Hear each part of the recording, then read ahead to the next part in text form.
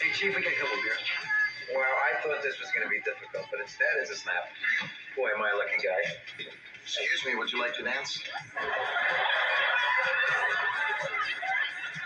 Just for the sake of optimism. No, go ahead. I don't mind.